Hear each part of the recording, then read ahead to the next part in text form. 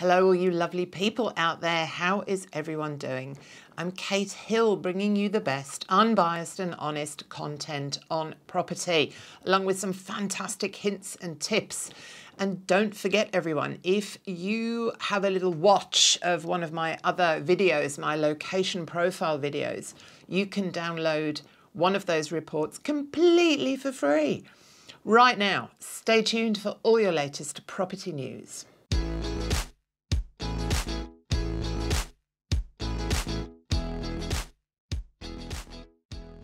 The private sector will be encouraged to work alongside all levels of government to help deliver on the federal government's National Housing Accord, which is designed to deliver a million new homes in five years from 2024. In Australia's most recent federal budget, the Treasurer says that all levels of government will work with institutional investors and the construction sector to help address the chronic shortages of supply. He says that the government will also provide $350 million in additional federal funding to deliver 10,000 affordable homes over five years from 2024. Under this accord, the states and territories will be tasked with fast tracking zoning, planning, and land release for social and affordable housing.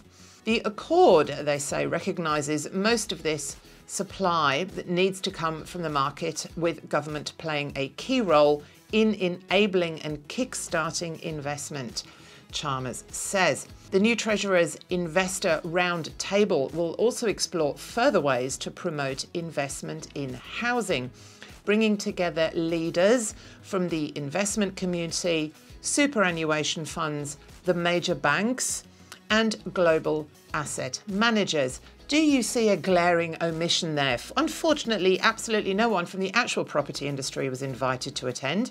So, no one who actually understands what's going on out there will be able to have a voice. So, we'll see what happens there. Mr. Chalmers, I am ready and available. Give me a call. I will tell you what you need to do. The $3.3 trillion superannuation industry and institutional investors are being encouraged to direct more money into residential housing, with funding for the push included in that federal budget. More resources will be allocated through Treasury and financial regulators to help resolve regulatory barriers for super funds and other institutional investors to invest more in housing.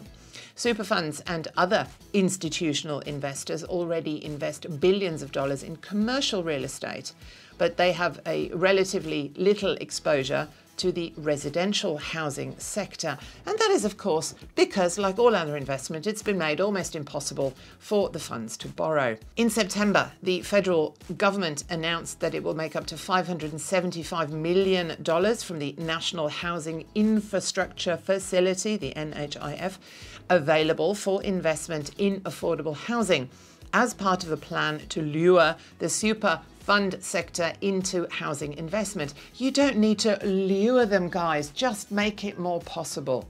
The NHIF is a $1 billion facility that offers loans and grants and equity finance for housing enabling infrastructure, such as utilities and roads. The Superfund sector says that it needs a federal government top up to invest in affordable housing as it delivers lower rental yields. Affordable property markets are performing well, with analysis by PropTrack showing that outer suburban markets are holding steady.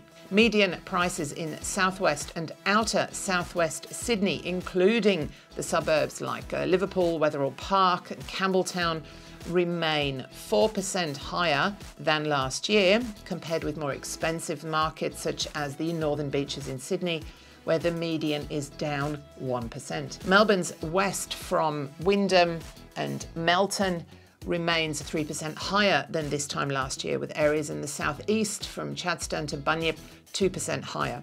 The more expensive inner south is down by 6%. Ipswich in Brisbane's west and Adelaide's north both remain 20% higher than this time last year.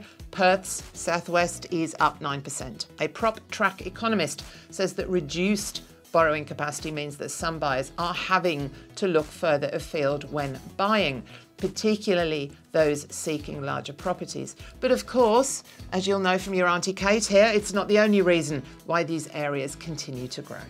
Rents have hit a new record high in the past quarter, according to Domain's latest rental report. It shows that combined capital city house rents are up 1.9% in the three months to September, with the average price of renting a house now 530 bucks a week. And unit rents are up 6.5% over the quarter, with the average weekly rent for a unit now $490. Domain's chief of research and economics says that the increases are a result of misalignment between supply and demand. That's one way of putting it.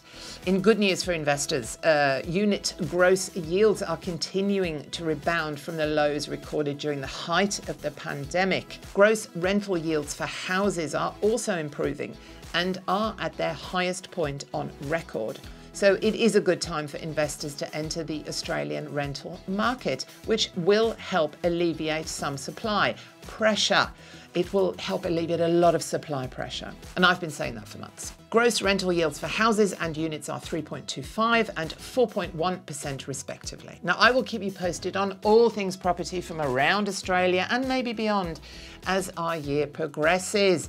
Don't forget to hit that subscribe and the like buttons if you are enjoying all my free content. I will see you again really soon. Bye.